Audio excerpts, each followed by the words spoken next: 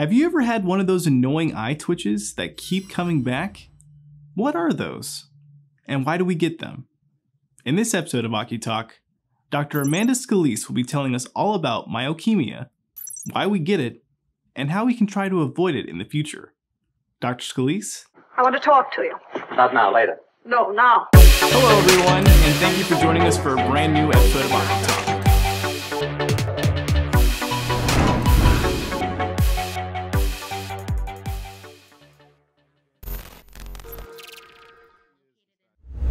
Hello, everyone, and thank you for joining us for a brand new episode of OCuTALK. My name's Nick, and today we have a very special guest joining us, Dr. Amanda Scalise.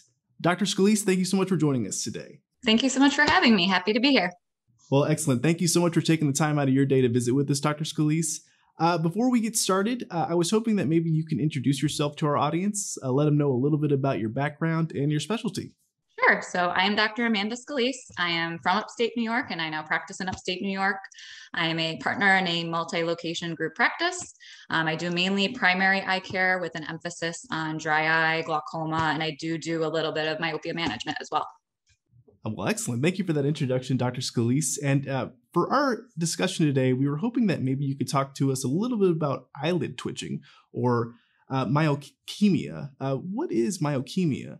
Yeah, so myokymia is just the fancy word for eyelid twitch. It's that annoying, uncontrollable spasm of the eyelid, uh, usually from a spontaneous contraction of the eyelid muscle, usually the orbicularis oculi muscle.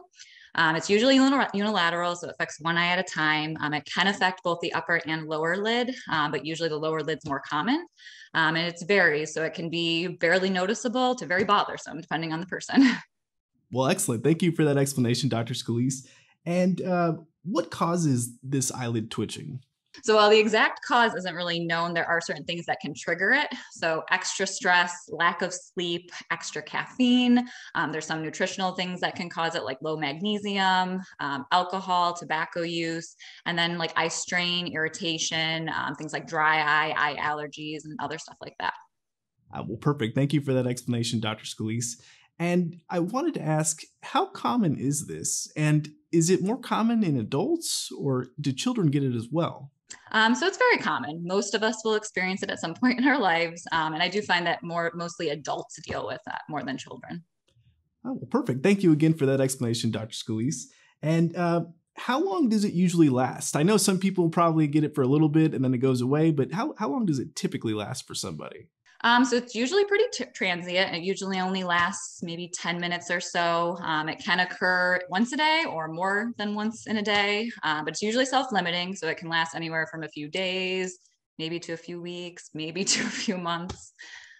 I will definitely, hopefully, it doesn't last for a few weeks. Uh, you know, hopefully, it only lasts for 10 minutes, not a few weeks. but thank you for that explanation, Dr. Scalise.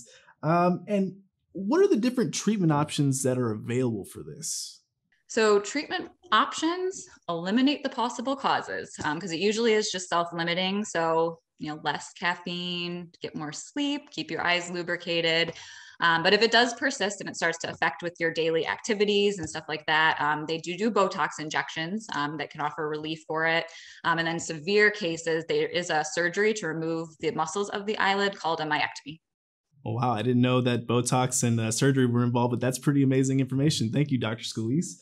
Um, and could this be a sign of something more serious? So usually it's just an annoyance and not really a cause for concern. Um, but if it does present with other symptoms, um, it could be a sign of a neurological condition like myasthenia gravis, um, MS, Parkinson's, um, stuff like that. Oh wow! Oh well, excellent information. Thank you so much for that, Dr. Scalise. Um, and is there anything you could do? I know you said it earlier, uh, probably you know less ca- caffeine drinking, but um, and other other things like that. But is there anything that we can do to help prevent um, this eyelid twitching? Yes, aim for that low stress, healthy lifestyle. so good good nutrition, regular exercise, stuff like that. Uh, well, perfect. Uh, you heard from Dr. Scalise. Uh, healthy exercise, uh, less stress. Hopefully, everyone can uh, definitely do that. Thank you, Dr. Scalise. Um, and so, when should someone consult their doctor? Like if it, if it's happening longer than 10 minutes or when when should we be able to go see Dr. Scalise with what's going on with our eyelids? Yeah, so you should definitely consult with your doctor if it does persist past that few weeks, few months type of thing. Um, if complete eyelid closure happens where both eyes are closing and it's difficult to open, that could actually be something different called a blepharospasm. Um, and then if twitching occurs to more other parts of like your face, that could be a hemifacial spasm. So there's a few different type of kind of spasms you can have. Um, also, too, if the eyelids start to droop or if your eyeball itself just starts to get red or it's leaking any type of discharge, stuff like that, definitely consult with your eye doctor. Well, again, everyone, that was Dr. Amanda Scalise. Dr. Scalise, thank you so much for joining us today. Yes, it was a pleasure. Thank you very much.